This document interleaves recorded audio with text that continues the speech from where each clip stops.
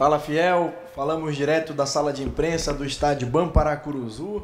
Nesta sexta-feira, dia 30 de julho de 2021, está acabando o mês das férias escolares, o veraneio paraense. E amanhã tem Paysandu e Tombense aqui no Caldeirão Bicolor pela décima rodada do Campeonato Brasileiro da Série C. Hoje, aqui na nossa sala de imprensa, a gente está recebendo o meio-campista Ratinho, que vai responder as perguntas enviadas pelos colegas da imprensa. Ratinho, boa tarde. Eu boa, começo boa tarde. pelo Dinho Menezes, da Rádio Clube do Pará. Para esse jogo contra o Tombense, o que o Paysandu vai apresentar de diferente e o que foi treinado com o técnico Roberto Fonseca? Eu acredito que não tem muita, muita coisa de diferente para acrescentar, porque os jogos, a gente tem feito bons jogos em casa, tem criado situações. É, o que podemos fazer é ter um pouco mais de paciência e um pouco mais de cautela durante a partida, que com certeza essa vitória vai vir. Só falta essa primeira vitória em casa para que as outras cheguem? Ah, com certeza, depois de, da primeira vitória, a nossa equipe ganha um pouco mais de confiança, o grupo fica um pouco mais leve e com certeza depois da primeira vitória virá outras. Você já está adaptado a fazer esse papel nos jogos de meia e volante? Sim, com certeza. Eu venho exercendo essa função desde que cheguei aqui e acredito que estou bem preparado para isso.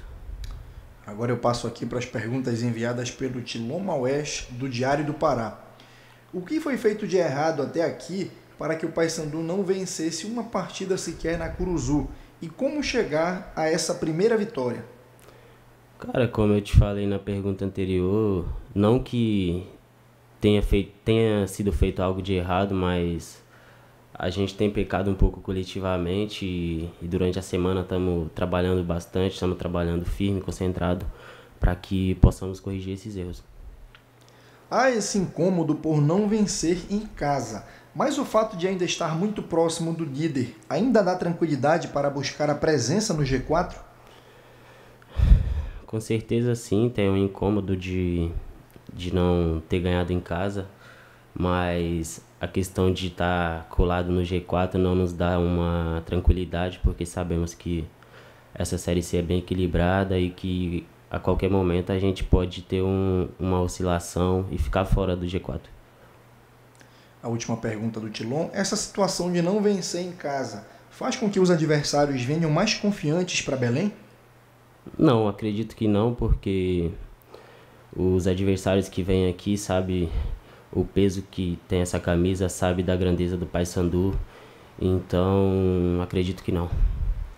E para finalizar, Ratinho, as últimas duas perguntas são do Danilo Augusto, da Rádio Pérola de Bragança. Ratinho, do ponto de vista emocional, como é que está o grupo para esse jogo de sábado contra o Tombense?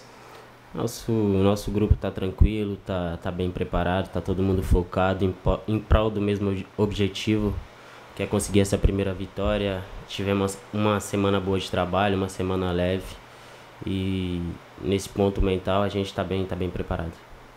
E a última, o torcedor bicolor já poderá ver um time mais vibrante em campo? Acredito que nunca faltou vibração, nunca faltou entrega. A gente tem realizado boas partidas, mas como eu te falei, a gente tem pecado às vezes em erros coletivos, mas vibração nunca faltou.